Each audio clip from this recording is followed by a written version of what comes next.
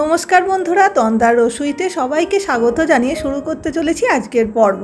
আজকে আমি একটা ভীষণই হেলদি মিক্সড রাইসের রেসিপি বানাচ্ছি, যেটায় বিভিন্ন রকম সবজি আর বেল পেপার আমি ইউজ করেছি।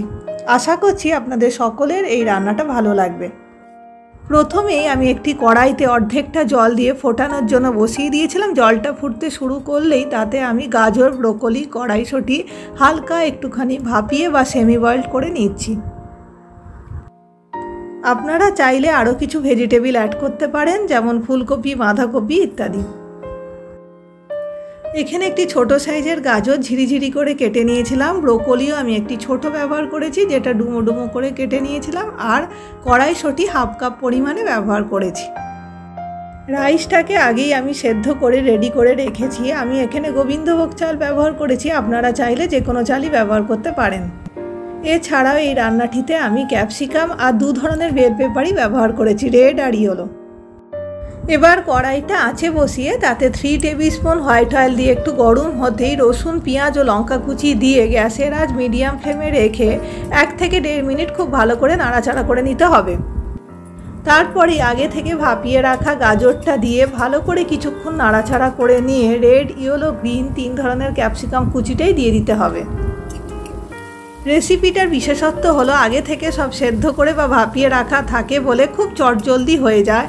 বাড়িতে হঠাৎ করে কোনো অতিথি চলে এলে ঝটপট আপনারা বানিয়ে দিতে পারবেন।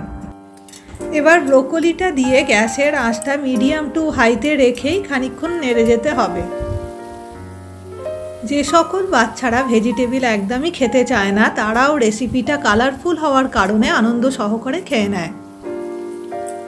এরপর আমি এর মধ্যে এক কাপ পরিমাণে আমেরিকান কর্ন আর হাফ কাপ পরিমাণে ভাপানো কড়াইশুঁটিটা দিয়ে দিলাম।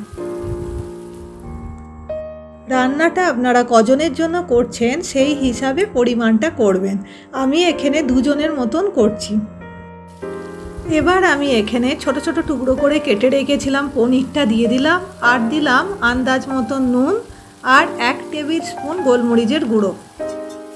এই সময় গ্যাসের আঁচটা একদম লোতে করে দিয়ে সমস্ত উপকরণ কিছুক্ষণ খুব ভালো করে নাড়াচাড়া করে নিতে হবে। এবার এর মধ্যে আগে থেকে সেদ্ধ করে রাখা ভাতটা দিয়ে দিলাম।